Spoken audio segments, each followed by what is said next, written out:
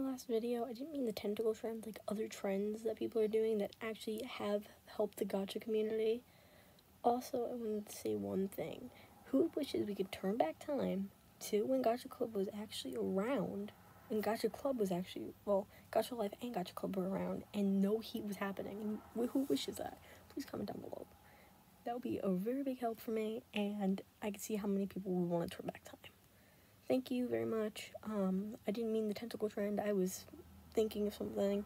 I've been watching the tentacle trend with a twist the whole day almost, and I wanted you guys to see the twists. Um, anyway, bye.